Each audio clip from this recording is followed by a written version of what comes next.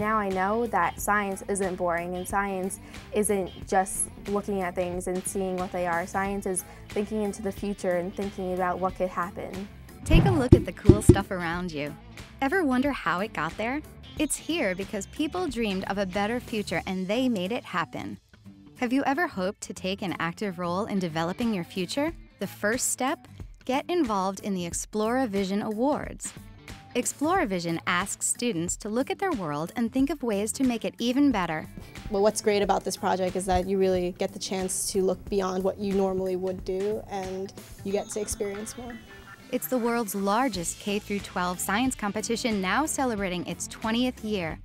Almost 300,000 students have taken part in Exploravision, and you can too. Exploravision asks students to work in teams to envision new technologies that could take place 20 years in the future. Groups take on some of the world's most pressing social, medical, and environmental challenges. What makes Exploravision great is it's not answering questions on a standardized test or at the end of a chapter in a textbook. You're creating your own invention from nothing. And if we don't move quickly to figure out how we need to inspire the young minds, the young inventors of tomorrow, if we lose that intellectual capital, we as a country, we as a society lose that battle.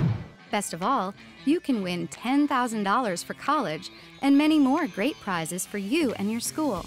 It was a great research experience, and now we're here in DC having a blast, so all for it. You also get a chance to become a local celebrity, be on TV, and get to meet cool people like Bill Nye the Science Guy.